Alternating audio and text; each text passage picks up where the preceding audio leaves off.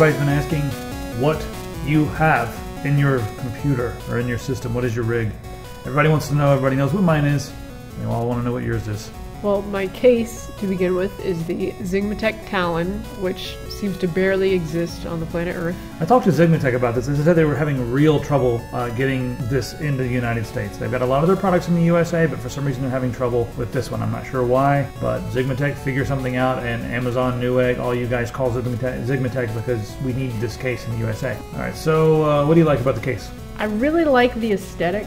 I mean, you, you shouldn't really go just for aesthetics, but I, I couldn't really help myself in terms of this case. I really, really like it. And it, it is rubberized, which feels nice, but it's kind of a pain in terms of dust. So if you're somewhere that has like a carpet or something, I probably wouldn't really recommend it. Now, I want, to be clear on something here because aesthetically, there's like the stuff that looks like, oh my god, this is my first computer, and you make it look like a lowrider or something, like with lights everywhere and all that crap.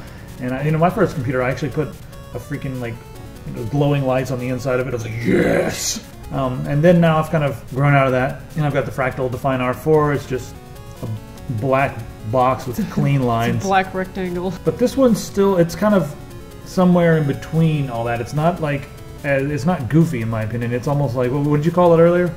It's a punk in a tie. So yeah, it's a punk in a tie. Yes. They should be using that. Xigmatech, you should use that on your site. This is this this case is a punk and a tie. You get the best of both worlds. It's not extremely flashy, but it's not too plain either. It's got some teeth, man. Yeah, it's definitely got some teeth. The dust filters actually work really well. Yeah, there's like zero dust inside your case, but the dust filters had like nine, had like two cats. Yeah.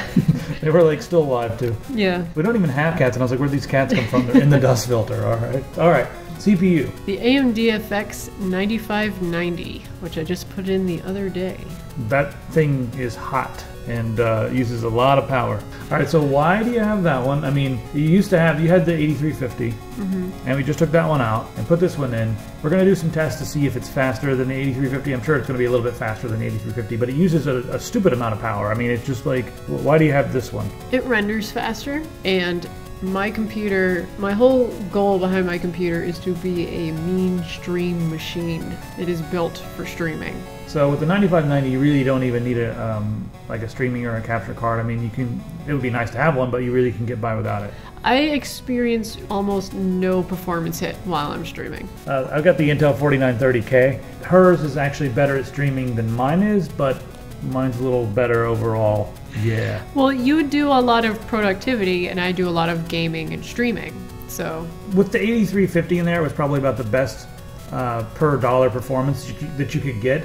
The 93, I mean the 9590 kind of skews that a little bit, but not much. I mean, it's still we because you paid like 300 bucks for it, so it's still a pretty good deal. And uh, 9590 for 300 bucks is, is not bad as long as you don't mind the extra power draw, which is going to be a few extra dollars a month, but not as much as people think it's going to be. People freak out and they're like, "Dude, oh my God, your power bill is going to go up to 700 dollars." No, it's not, you idiots. it's Um, minuscule.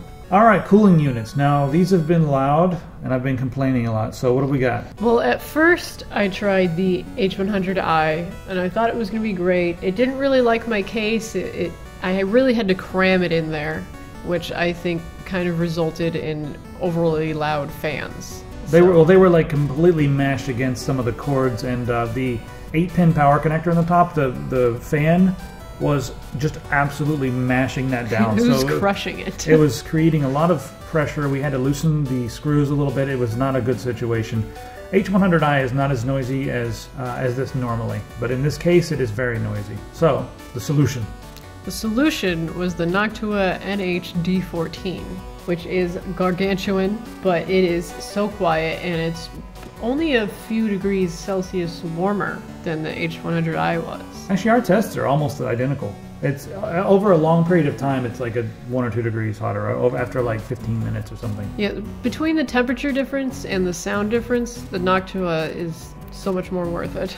We, we went from like vacuum to whisper. Yeah. I, I picked out the motherboard. Uh, we, we picked up an Asus M5A99FX Pro uh, Revision 2.0, and this is uh, we were looking at this one and the also looking at the Sabertooth. They're both uh, you know really good 990FX motherboards, and I went with this one because one reason I found an open box one for like a hundred bucks and it showed up, and there was a MOSFET just rattling around in the box. I think Paul and Kyle did this to us on purpose. I, wouldn't be surprised. I think they saw the. I think they were just walking around the warehouse and they saw, you know, like Tek Syndicate on the box, and they were like, "Hold on a minute, let me just get in there and pop off some MOSFETs." Whoa, I'm from California.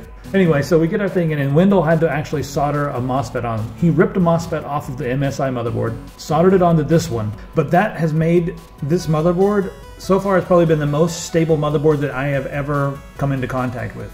Um, your graphics card. The Asus 7970 DirectCU 2. Yep, and uh, you've got a little bit of an overclock on that one as well. That thing's triple slot, so it, it does take up a lot of room in there. I'm wondering if we'll be able to get a, a 290X. That's the one thing that we need to upgrade in this. Yep, that, that is my next upgrade, upgrade goal is the 290X. With a custom cooler. Um, but AMD has not been returning any of our uh, emails. AMD. But yeah, you've got it overclocked to 1100 megahertz and it does a good job. RAM. 32 gigs of Kingston Beast. Nobody needs 32 gigabytes. You should have purchased 8 gigabytes in an Intel. Dumb render times though. The thing about 32 gigabytes of RAM is if you're working with a ton of um, video files and that sort of thing, it's just going to be a lot better. So whenever it, it, really helps out for Premiere. It doesn't really matter in games. Anything over 8 gigabytes these days in games is not really necessary, but 32 gigabytes is really handy for productivity. All right, the power supply.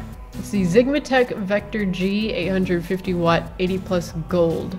And what I really like about this is that when you turn your computer on, the fan ramps up to pretty much maximum speed and blows out any loose dust, and then it goes back down, and it's pretty quiet actually. So when you first turn on, it blows out and gets rid of all the junk. So yep. that's another reason you don't have any dust in your cases, is because this thing is blowing out all the dust. Um, the other thing that's nice about this one is that um, it will ramp up depending upon the load. So this system, it probably ramps up a bit, but it's still nice and quiet. It's got a decent fan in there. You guys can check out our video on, on that one. Uh, but it kind of went together with the case as well. And we had a few 80 plus power supplies laying around uh, at the time of the build, but this was the only gold one. It was a Xigmatech, matched the case, and it has some really cool features. So um, it's really been working out. Hard drives, uh, where's your OS hanging out? It is on an ADATA SX900 256 gig SSD. All right, what about your uh, storage drive? What are, what are you using for that? Just a normal Seagate 3 terabyte high drive. Just a Seagate Barracuda? Yep. All right, uh, we, we, which I should tell everyone that um, we don't have a lot of hard drives in our computers because we have a very large NAS it's got several Seagate Barracudas in it, but in order to access the NAS quickly, we have one of these. I have an Intel dual gigabit NIC. So that's kind of handy to have. So that's Pistol's rig. Um, we'll be doing some more videos soon. Um, we're going to compare her computer to my computer, see which one's faster for which applications. It's not about like, oh, look how much money I spent, bro. Uh, we're going to talk about, you know, like value per dollar. We're going to talk about, you know, speed for streaming, speed for rendering, and also just test out a few different games and, and see how, how they both, I guess, work. We'll also throw in a few 8350 benchmarks just for the hell of it.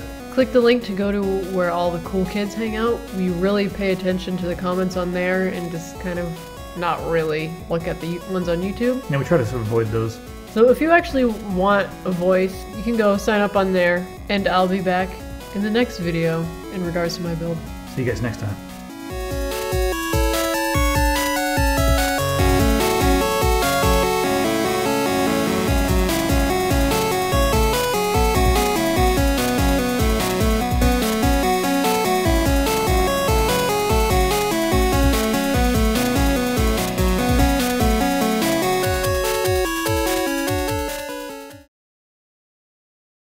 And that's a little bit different. I've got a, a the Intel um, 43 790 47 90 37 37 90 40. Yeah, 8350 versus 9570 or 90, 90, 97.5 97.5 5 97.5 97.5